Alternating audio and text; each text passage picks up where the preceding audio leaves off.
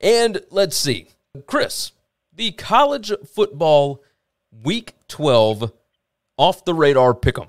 And I don't know how off the radar some of these games really are, but these are these are ones that I did not get a chance to discuss on the BetUS show. So let's let's talk about what happened last week. I went five, six, and one. Chris, you went six, five, and one. The total on the season. Neither of us is is doing great here. I am 57 and 61 against the number. Chris, you are 50 and 68, but we do still have two weeks to go, and then of course championship week, Army Navy week, and our bowl game. So let's let's dive into pick number one here, and our first one will be Texas heading to West Virginia, 12 p.m. Eastern time. West Virginia a three point favorite, total of 56 and a half. Chris, West Virginia five and two against the spread in their last seven games at home. Texas is I mean, they lost to Kansas at home as as a 30 point favorite last week. I don't know what to make of what's happening with the Longhorns right now. This appears to be uh, the purge, right? I mean, I, there's is there any way that you could possibly bet on Texas this weekend? Well, no, I, I would not. I think this team is a one trick pony, and that trick is Bijan Robinson, who is out. And without him, there's no chance on earth I would take them. I don't think their defense is good enough to stop anybody. I do not think their offense is good enough without Bijan to, to do anything. We're going to see all of the uh, mental cleverness and, and strategery of one Steve Sarkisian, who everyone just assumes is this offensive god. And, and, and yeah, this is this is what he looks like playing with mere men, yes. and, and not not elite men. I I agree with you. I'm I'm rolling West Virginia minus three. You are doing the same. I mean, it got ugly in Austin really quick, didn't it? Just super ugly. Another 12 p.m. Eastern Time game, and we're going to stay in the same conference here. Iowa State is heading to Oklahoma, and of course, the Sooners got embarrassed in Waco last week. Oklahoma, a three and a half point favorite now. This line opened at four and a half. It has been bet down a full point. Uh, total is 59. Iowa State is 5 and 1 against the spread in their last 6 against Oklahoma. And you know, I when I look at this Oklahoma last season lost two games in a row for the first time in I mean as as far back as anybody that's alive can really remember. I I don't know what to make of this. When I look at the numbers here, Iowa State's defense is like number 82 in efficiency over the last 5 weeks. They have just fallen off the grid. And while I do want to think that Matt Campbell has something up his sleeve, and maybe last week against Texas Tech was was them like looking ahead to Oklahoma, I'd I'd have to wonder if Oklahoma's going to show out here. I, that's the way that I'm going to lean on this. Like, eh, obviously, these are not my official plays. You can go over to the BetUS show for for my official picks, the ones that I have full money on. But man, I think I'm going to roll Oklahoma here, minus three and a half. Like there's so much love for Iowa State this week. I just I, I think that they're going to come out and show something this week against Iowa State, and then next week is when they get bludgeoned. So I think you're right, by the way, on everything that you said. I, I can't imagine this Oklahoma team being that bad two weeks in a row, but the problem is, is they've been that bad, I don't know, like five weeks in a row. True. They just happened to play teams that were dead and just couldn't couldn't fight at all. This Iowa State team, by the way, kind of looks like that throughout a lot of this season, and and it's just really hard to take them serious. But I think the reason they look like that last week, I said this already, is I think they were looking ahead to Oklahoma. I thought I think they could have slept walked through Texas Tech, but they thought Oklahoma was gettable, and I think I think Matt Campbell knows he let this season get away from him. He let this season of an incredibly talented, incredibly experienced, players get away from him. He can save it with a win over Oklahoma. Yeah, yeah, so you were, I will. I will right. take Campbell and the boys. I will take the head start and hope for a field goal game. I would love for an upset. And that totally makes sense. All right, so I got you down for Iowa State plus three and a half, and I will roll with the Sooners here. Let's move on to the next one, and we have got Georgia Tech heading over to Notre Dame. And good gracious, what Brian Kelly has done with this team is nothing short of miraculous. It's a 2:30 p.m. Eastern Time game. The Irish are 17 and a half point favorites, total of 59 and a half. Georgia Tech 5 and 1 against Notre Dame in the last 6 matchups between the two. And man, when you look at advanced stats and whatnot on this game, I it's really hard to not take Notre Dame in this spot. Uh, advanced numbers would tell you that they should be favored by like 20 in this game. Instead, they're favored by 17 and a half. Uh, the number's actually gone up quite a bit. I there's something about Georgia Tech and their ability to fight and the fact that this line is all the way up at 17 and a half. I made the line 14 and it's all the way at 17 and a half. I think I think Georgia Tech can hang around in this game. This is I, have told you multiple times. This is one of the most volatile teams out there. None of their advanced numbers said that they should be any good, but that's because they're not consistent. Do I think that they could go to Notre Dame Stadium and absolutely put up some kind of a fight? Absolutely. I, I certainly think that they could. I think they could feel like, okay, Notre Dame might be gettable. We know we're not going to beat Georgia next week. Like that's a weird way to look at this. I understand because they could just be looking ahead to Georgia next week, but I think they got some fight in them. I think they can hang within 17 and a half. So I'm going to take Georgia Tech here. So normally I don't like laying these big numbers at all ever, but but I look I haven't gotten a lot right this year. One thing I got right before the season started was this Notre Dame team is no joke. They are they are not some punks that are just going to lose a bunch of guys and roll over and die. They're going to fight like hell in every game. They're going to lose very few of them. I thought they'd lose the Cincinnati game. They did lose the Cincinnati game. They hadn't lost since. They hadn't trailed much after that. that also. So like they they've been handling everyone they need to handle. I, I think this Georgia Tech team is bad. Don't think they're very good at football at all. Uh, I think there's a world where this team might might be quitting. They might be waving the red flag in the fourth quarter, and and Notre Dame gets up by three three scores. I, I could dig that. I could dig that. So I'll write down Notre Dame for you. Yeah, I'm I'm going to take the Yellow Jackets for whatever reason, and I'll probably be regretting that once we get to about uh, five o'clock Eastern time on Saturday. But uh, you just keep saying that they're a great team. They're a, they're a great coach, and and then they he's building something. Well, at, the, you know, it's three four years now. At some point in time, you got to get the damn thing built. Yeah, it's been it's been three seasons, so I you know, yes, I, I think they got to get. They don't look done. any different in year three than they did in year one. you ain't wrong about that.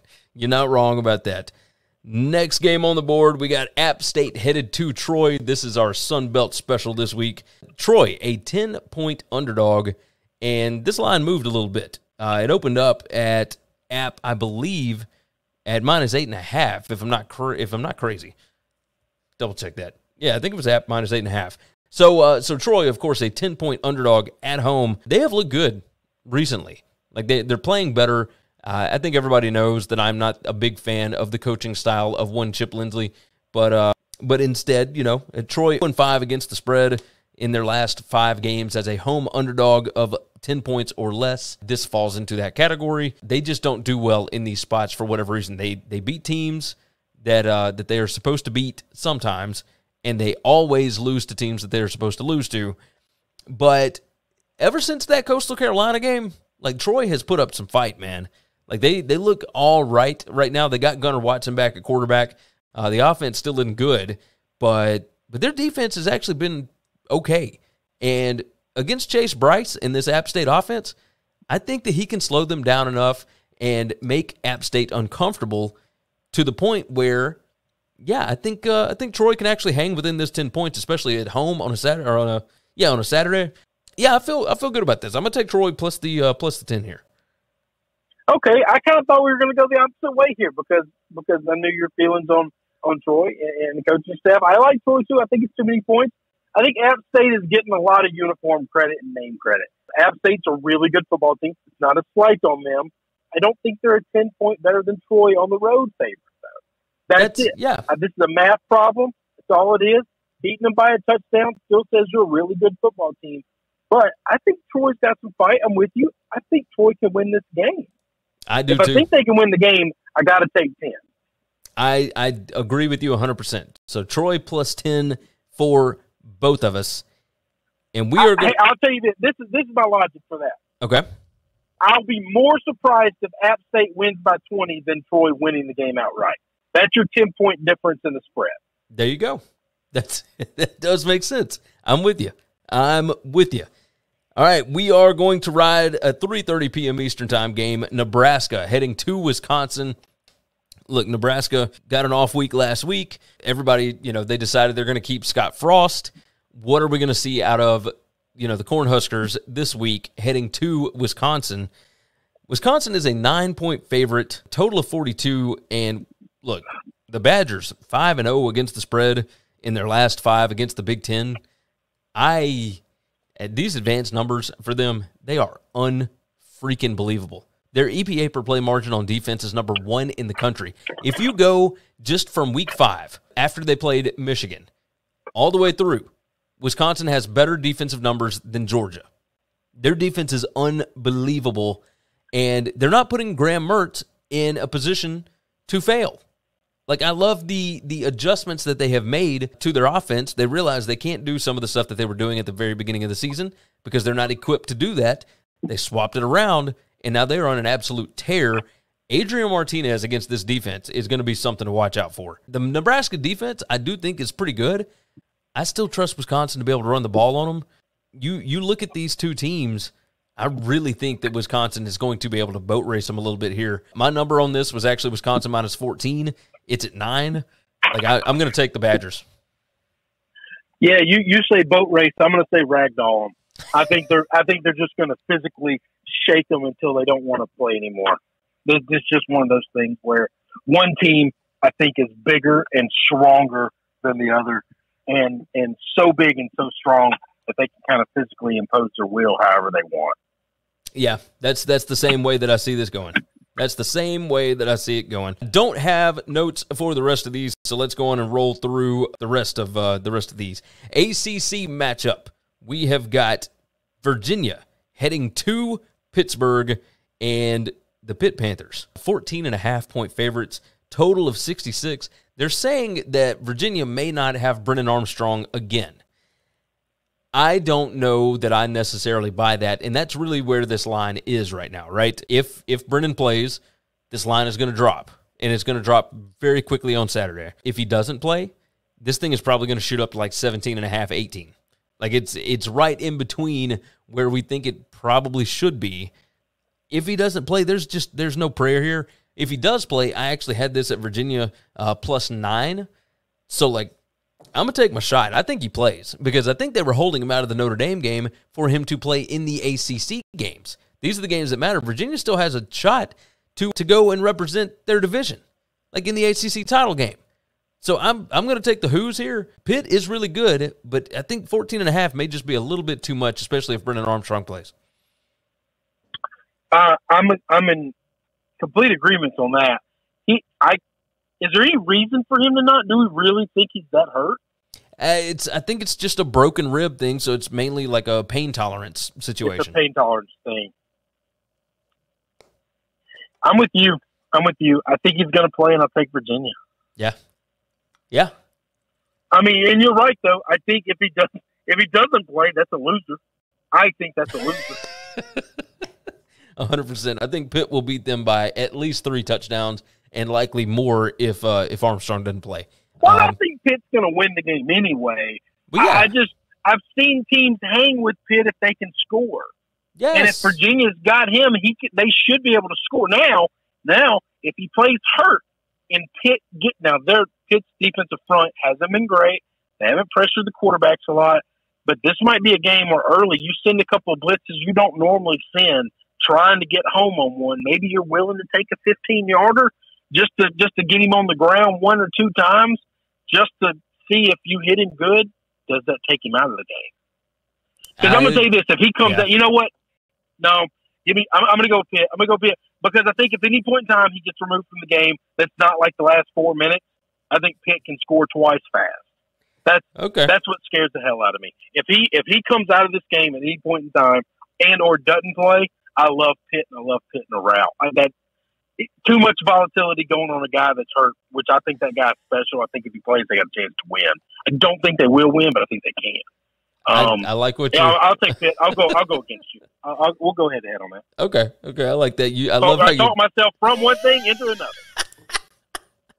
I love it. I absolutely love it. Uh, at That's, the end of the how day, you know a guy is fifty and sixty right there, baby. Yes, yes. Uh, I will tell you this: Virginia on defense, their EPA per play margin on defense is number one twenty two. So they ain't stopping. Oh, no. Pickett.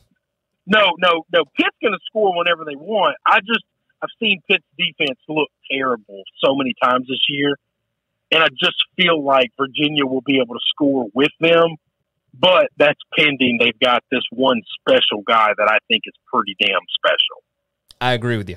I agree. So I'm I'm going to roll Virginia plus the All right, I'll 14 go and a half, and you're going to roll Pitt minus 14 and a half. Let's let's jump into the next one here. 4 p.m. Eastern time. We have got Louisiana heading to Virginia to face off against Liberty and Mr. Hugh Freeze. Really fascinating coaching matchup. Uh, Liberty a four and a half point favorite here. Total of 53 and a half. I'm going to let you start us off. I man, I look at these numbers and I am just I, I don't. I, I'll I'll let you start. What what are your thoughts here? A, no, I, I, I like, I, uh, I like Louisiana. I like the Ragin' Cajuns here. I think they're the better football team. They really are. You know, we, there, there was a time where Liberty was the hot team before the season started. And we thought they could have a special year. I've seen enough of them to know this team is good, but they're not special. Not that Louisiana is either, but I'll take them with a head start because I think they can win the game. I kind of think they will win the game. Yeah, I'm I'm looking at these numbers and it they these two teams just look so identical, right? I, do think that Liberty has no, the the quarterback play on one team is significantly better, but I think Louisiana is better than them a little bit at everything else. Well, that's uh, so that's what I was getting at. Is obviously Malik Willis is is an NFL caliber kind of guy, Yeah, he's Um, he's the special player. but Go ahead. if you, if you just look at all the advanced stats, you know, I I do think Louisiana matches up relatively well with Liberty. Yeah, I do too. So I, I, I think Louisiana's better than them. I I think overall, I I mean, my line on this was Louisiana minus two, and when it came out minus think- four and a half the other way, I said, "Whoa, like I'm missing Yeah. something." No, I thought this game was going to be real close to a pick 'em, and if I had to favor one by, by a point or a half point, I would have I would have given it to Louisiana over over uh, over Liberty. And so when I saw it wasn't just Liberty minus, it was Liberty minus four and a half. It was Liberty minus more than a field goal.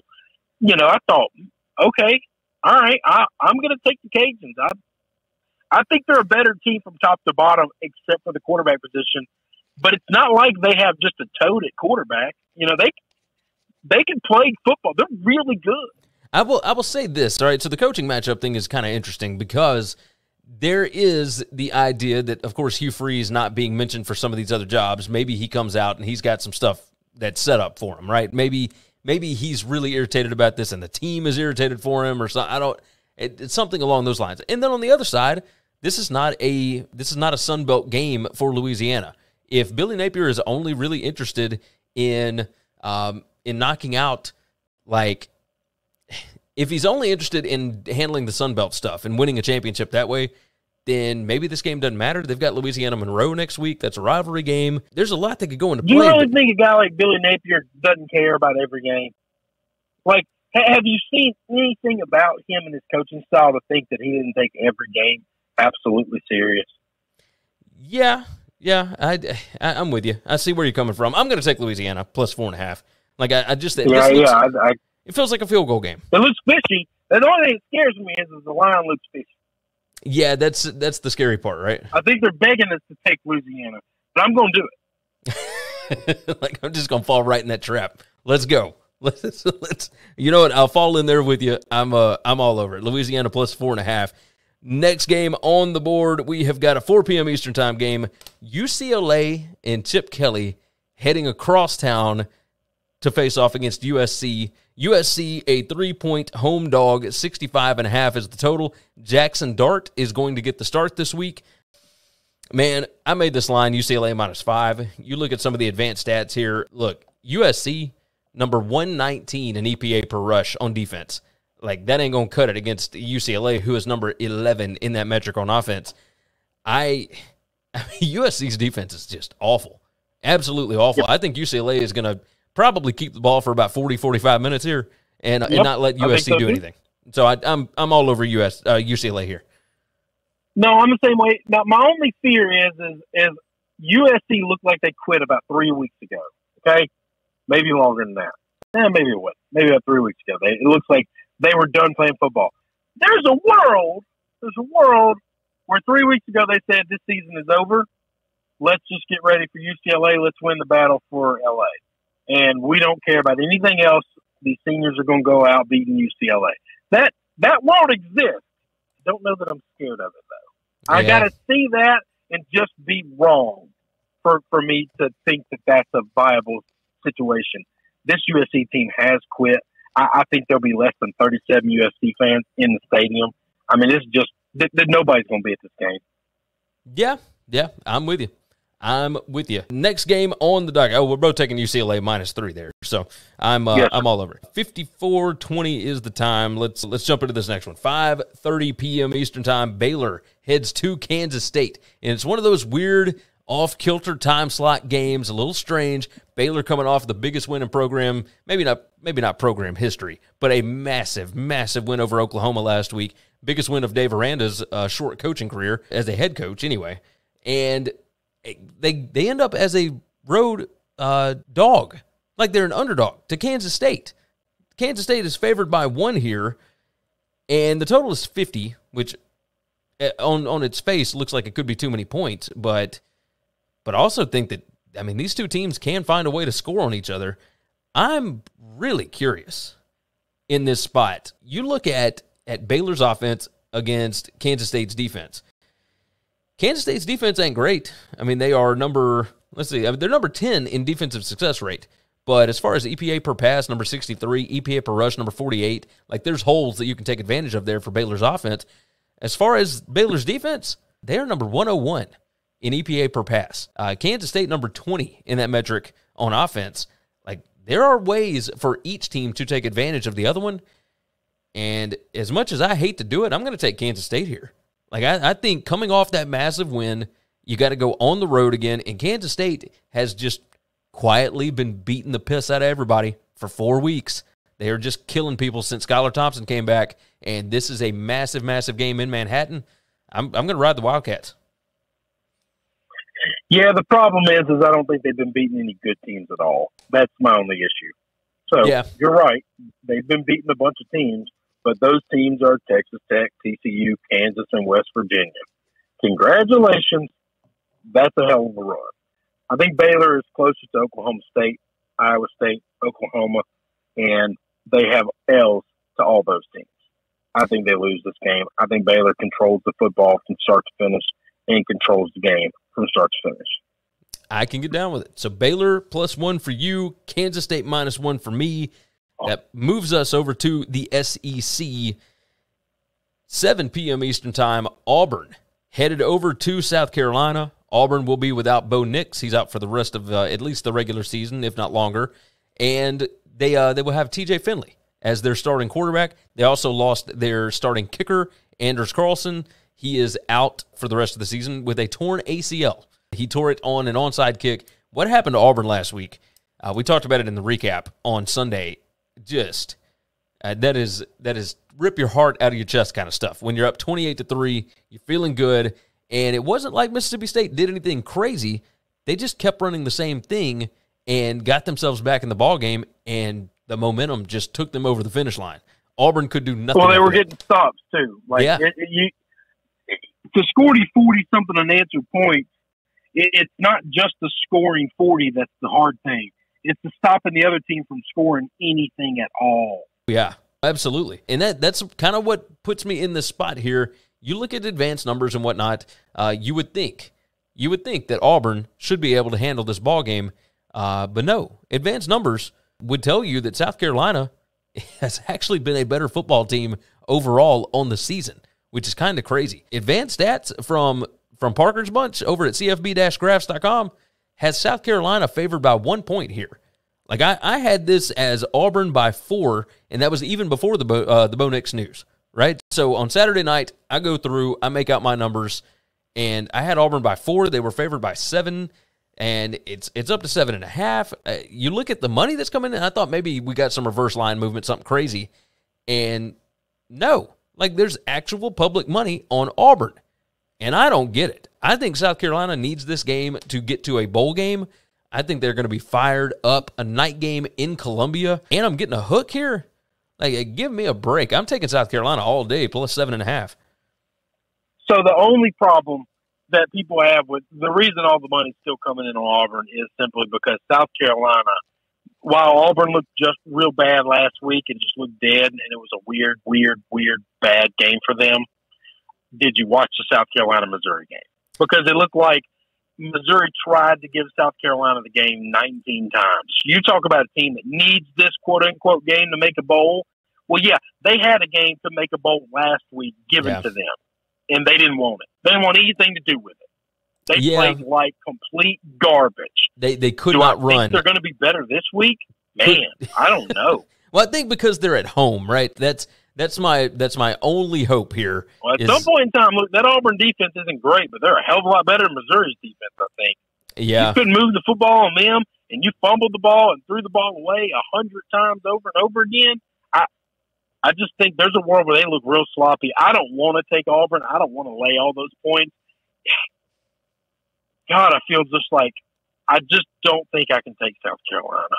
I just I saw them their their chance to get bowl eligible was last week, and it was served up on a silver platter, and they cocked it off. Yeah. And it just, what do you do?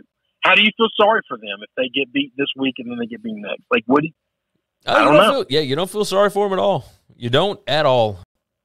Yeah, I mean, I'm I'm going to ride South Carolina. I like the home underdog at home on a Saturday night. I like South Carolina. You know how much I love South Carolina. Oh, I yeah. want them to be good. It kind of makes me sick to take Auburn and lay the I can understand your side. And it's not that I don't have anything against Auburn. I'd like to see T.J. Finley have a great game. That's oh, what yes. I would like. Yes, absolutely. Uh, remember, it, his first game as a starter last year for LSU was actually in a blowout of. South Carolina. So that's right. No, that's that is true. That is true. Of course, obviously, different South Carolina team. That was a different coach, uh, different coaching staff, different players, etc. So you know, whole whole different thing. But same uniforms, same uniforms. Uh, another 7:30 p.m. Eastern time game. We have got Da da da! Virginia Tech and the recently fired Justin Fuente heading over to Miami to take on the Hurricanes. The Hurricanes are a seven and a half point favorite at home, total of 56 here. And brother, I think I think Miami's done.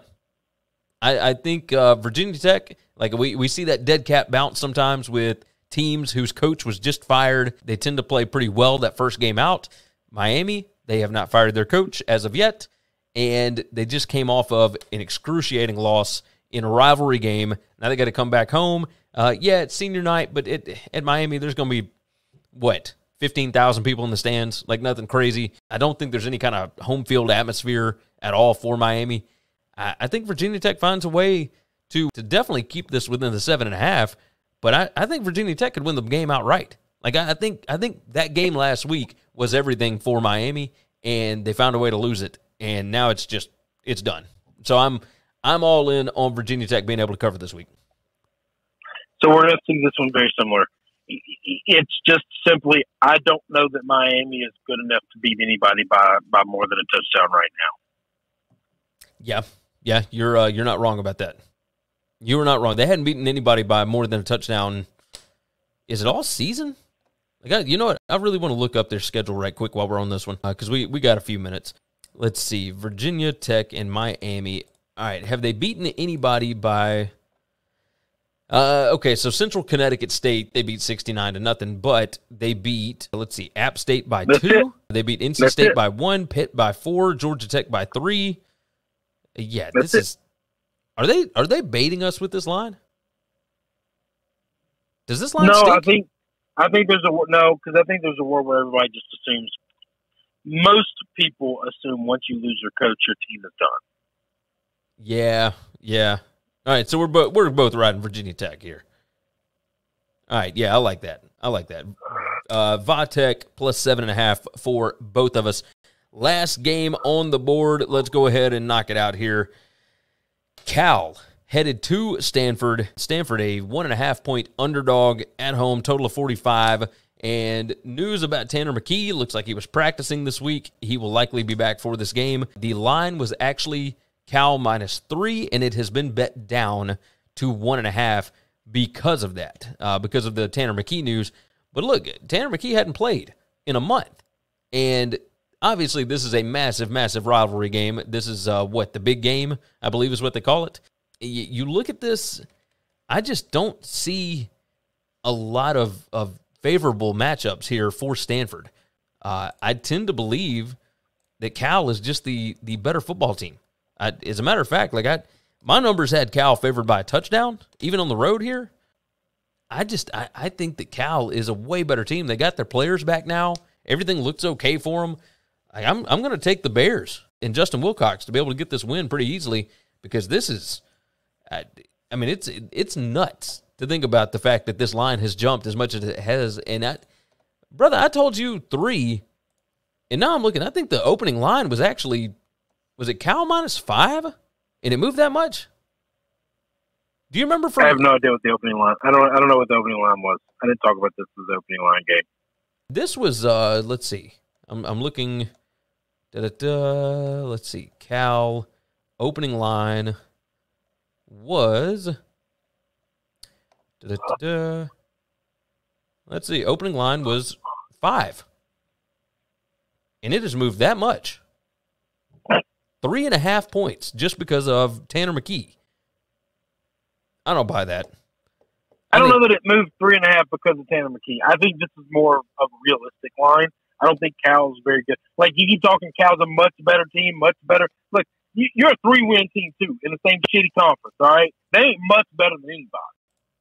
So if this line was five, I would seriously be taking uh, Stanford. Yeah. Okay. Okay. Uh, just I think the line is right here.